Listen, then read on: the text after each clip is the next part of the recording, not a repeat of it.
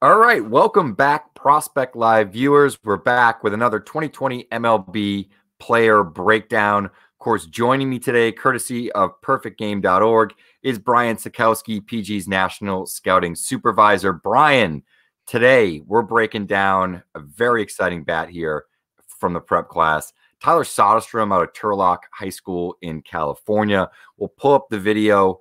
Um, for all intents and purposes, I guess we'll say with quotation marks, one of the top catchers in the draft. But talk to me a little bit about Soderstrom because it seems like he's a guy, you know, the bat is of such quality. He could potentially fit in at a few different positions long term.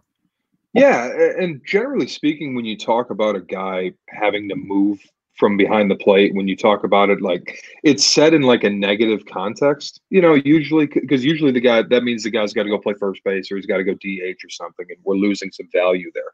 But with Soderstrom, it's it's not the case because he's athletic enough and he has enough peripheral tools to where, you know, it's it's most people seem to think it'd be right field, but he could maybe play third base, he could maybe play first base, he could maybe play all three. Um, and it's not like a we need to move him because he's bad behind the plate. It's we need to move him because maybe we can even maximize his value by moving him elsewhere and allowing the bat that much more freedom to develop while not worrying about being behind the plate. So yeah, it's it's a bat profile, but it's not without those peripheral tools like I was talking about. Um, it's pretty substantial raw power from left side of the plate. It's play grades out as plus. He gets to it pretty frequently, like he's a guy who who hits for power in game, and he hits for power in game pretty often.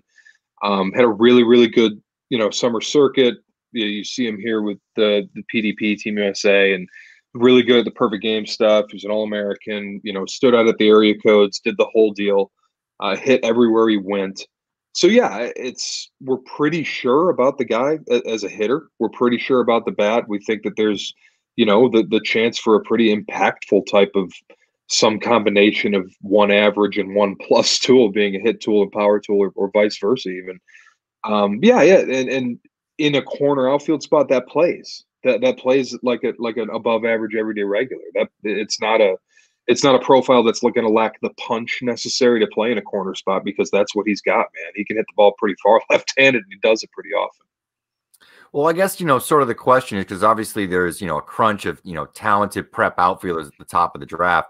Just in terms of you know the player at the plate, you know, remove defense, all the peripheral skills as a hitter, how does Soderstrom stock, you know, uh, stack up against, you know, Hendrick and Veen and and Hassell and Pete Crow Armstrong and those kind of guys?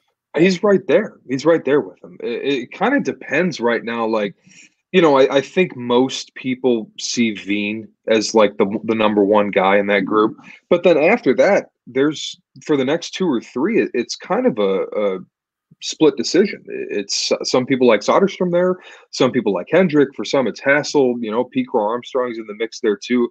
But it's a really, really fascinating, interesting, like sort of depth area in the class, like a niche. Hey, the prep left-handed hitters in this class are really good, or the prep left-handed hitting outfielders. It's, it's kind of a, a weird niche that came to being. Um, but yeah, I think he's right there with, with them. I, I, think he's got a chance to go off the board as you know, as early as like the early teens.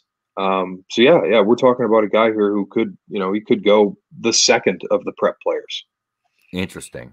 All right, I think we covered all of it because I was going to ask you where he goes, and you sort of already answered that. There so, you go. Used to it now. tuning in. Thanks for joining me, Brian. That was uh, Tyler Soderstrom. We'll be back with another one. Thanks, guys.